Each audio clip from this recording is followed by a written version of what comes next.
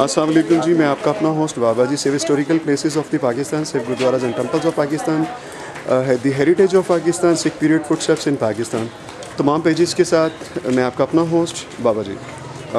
Punjab page और Peshawari Singh also तो मैं आज आपको एक हिस्ट्री से रिलेटेड एक कहानी जो है वो सुनाने के लिए जा रहा हूँ। मैं इस वक्त एबटाबाद पुराना शहर में हूँ। ओल्ड सिटी जो था और यहाँ पे जो बिफ़ोर पार्टीशन जो था, ये गली सराफा बाज़ार के नाम से मशहूर थी और ज्वेलर्स की जो था।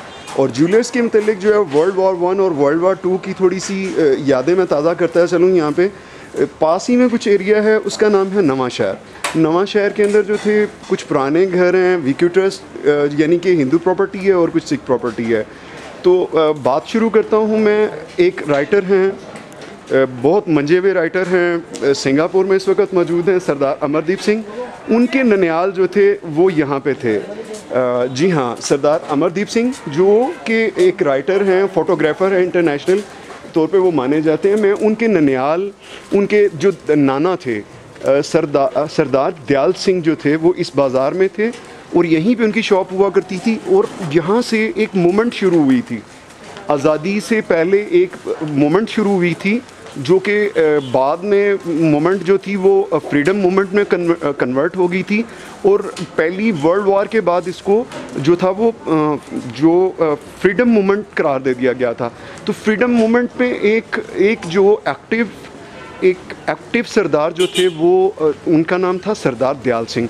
सरदार दयाल सिंह की जो शॉप थी इसी बाज़ार के अंदर थी, उन पर बहुत ज़्यादा सारे केसेस चलाए गए और केस जो थे वो पास में थाना सिटी है उसमें थे और उसमें कितनी बार उनको हवालात में बंद किया गया यहाँ पे? और मैं उन्हीं फुट स्टेप्स को ढूंढते हुए सरदार अमरदीप सिंह के नाना के लिए मैं यहाँ पर आया हूँ। मैं देखता हूँ कि मुझे रिकॉर्ड कहाँ तक यहाँ पर मिल पाता है लेकिन आ, मुझे नहीं लग रहा है कि सौ साल गुजरने के बाद यहाँ पे कोई कोई ख़ास जो है स्ट्रॉन्ग किस्म के फुट स्टेप्स मिलेंगे मुझे। लेकिन फिर भी मैं थाना सिटी तक मैं जाता हूँ उनकी कुछ यादें ताज़ा करवा देता हूँ उनके कि फॉर फादर्स की, कि यहाँ पे क्या क्या था, किस तरह था, ये अपनी आँखों से वो देख लें।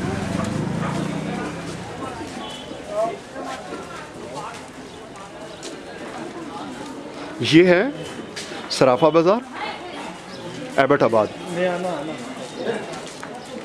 और ये है खूबसूरत जामिया मस्जिद, एबटाबाद जो 1935 में बनी है प्री पार्टीशन जो थी, ये मस्जिद थी। और आज भी अपनी आबोताब के साथ जो है वो मौजूद है। बहुत कम आर्किटेक्चर इस तरह के हैं, इतने सॉलिड हैं और पायदार हैं जो इस हालत में अभी तक बाकी बचे हुए हैं। और ये हिंदको के अंदर सारा लिखा हुआ है 1935 के अंदर। और ह्यूज स्ट्रक्चर है अच्छा खासा इसके गुंबद और मीनार बहुत बड़े हैं। बात चल रही थी सराफा बाज़ार के मतलब के सराफा बाज़ार के अंदर से एक ज्वेलर को किस तरीके से फ्रीडम मोमेंट के अंदर जो है वो वो शुरू हुआ है? फ्रीडम मोमेंट में वो किस तरीके से आते हैं? ये है वो चौकी। ये कॉर्नर जो नज़र आपको आ रहा है, थाना सिटी का, ये रिपोर्टिंग रूम हुआ करता था। ये तफ्तीश ऑफ़िस था। ये लिखा हुआ है शोबा तफ्तीश, जुराइम, थाना सिटी। ये थाना सिटी है और ये सराफा बाज़ार है पीछे। 1914 में जब मूवमेंट इसको डिक्लेयर किया गया और उसके बाद फिर सरदार जो हैं, दयाल सिंह को बाकायदा तौर पे सिपाही माना गया फ्रीडम मूवमेंट का। और फ्रीडम मूवमेंट ने ख़ास तौर पे नॉर्थ वेस्ट ऑफ़ पंजाब, जबकि एक प्रोविंस जो है वो अभी नया नया बना था। N W F P north west of Punjab. यानी कि प्रोविंस तो पंजाब ही था, लेकिन नॉर्थ वेस्ट इसमें आ जाता था। और यहाँ पे जो ब्रिटिश अगेंस्ट जो मूवमेंट शुरू हुई थी, उसको फिर जो है वो आज़ादी का या फ्रीडम मूवमेंट का नाम दिया गया। ये वो जगह है, ये वो पुरानी बिल्डिंग है।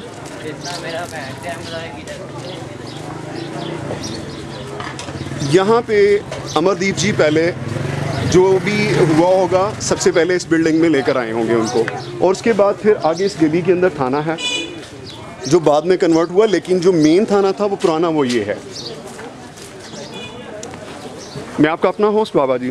देखते रहिए save historical places of Pakistan Sikh period footsteps in Pakistan. Save the Gurdwaras and Temples of Pakistan. Punjab page ये है मेरा पाकिस्तान तमाम पेजेस के साथ मैं आपका अपना होस्ट बाबा जी। और आज आपको फिर मैं दोबारा से दिखा रहा हूँ better truth of the 1947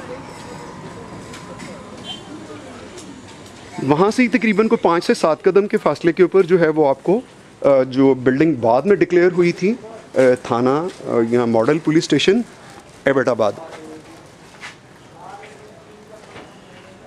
Amardeep ji, ये वाली वो जगह है, इसी के अंदर मतलब कि 19 जो 14 के बाद जो उनको बार बार वो बताया जा रहा था कि जेल में डाला गया, उससे पहले केसेस चले, और वो सारा कुछ हुआ, वो ये जगह है। आपके फोर फादर्स की यादें ताज़ा करने के लिए मैं दोबारा एक बार फिर नवा शहर में भी जा रहा हूँ और नवा शहर के अंदर भी मैं पूरी कोशिश करूँगा कि उस घर को मैं ढूंढ लूँ।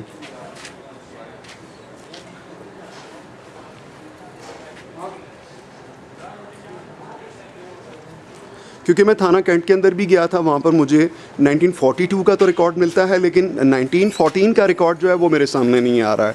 मैंने यहाँ पे भी कोशिश की है तो इनके पास भी 1914 का रिकॉर्ड नहीं है, लेकिन 1942 या 1943 से लेके जो इवेंट्स आगे हुए हैं, उनके मतलब जो है वो काफ़ी कुछ पता चल सकता है, लेकिन वो फाइल्स जो हैं वो थाना कैंट के अंदर मौजूद है, मैं बात कर रहा हूँ, उनके साथ मेरी मीटिंग एक और है, उसके बाद मैं फाइनलाइज करूँगा, जो कि यहाँ पे 1947 के अंदर राइट्स जो हुए थे, उसके मतलब मैं हाईलाइट करने के लिए बहुत जल्द मैं दोबारा फिर एक मरतबा एबटाबाद का विज़िट करूँगा, और मैं डी पी साहब से ये परमिशन लेकर आऊँगा और ये 1942 से लेके 47 तक का जितना भी रिकॉर्ड है, वो दोबारा निकलवाऊँगा मैं।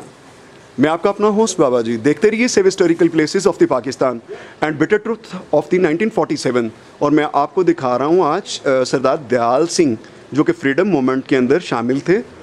और उनको बाद में आज़ादी का सिपाही भी करार दिया गया। मैं उनके फुट स्टेप ढूंढता हुआ सराफा बाज़ार के अंदर आज आया हुआ हूँ। एबटाबाद को वो शर्फ हासिल है कि यहाँ पर बहुत ज़्यादा सारी नामवर शख्सियात जो हैं वो रह कर जा चुकी हैं, जिसमें यहाँ पर एक घर ऐसा भी है जहाँ पर प्री पार्टीशन इलामा इकबाल जो हैं वो उन्होंने आगे स्टे किया था, वो दो गलियाँ छोड़ के आगे है। तो देखते रहिए save historical places of the Pakistan और ये सारा कुछ जो मैं आज कर रहा हूँ स्पेशली जो मेरे दोस्त हैं इंटरनेशनल ट्रैवल राइटर हैं फोटोग्राफर हैं जिनकी बहुत जल्द एक बुक आने वाली है द विज़िट ऑफ़ पाकिस्तान तो ज़रूर आप वो देखिएगा, मैं भी देखूँगा, और मेरा ये आर्टिकल और मेरी ये वीडियो जो है वो सरदार अमरदीप सिंह, जो एक माने हुए, मंजे हुए फोटोग्राफ़र और राइटर हैं, उनके नाना जी की यादों को मैं ताज़ा कर रहा हूँ। देखते रहिए save historical places of Pakistan period footsteps in Pakistan.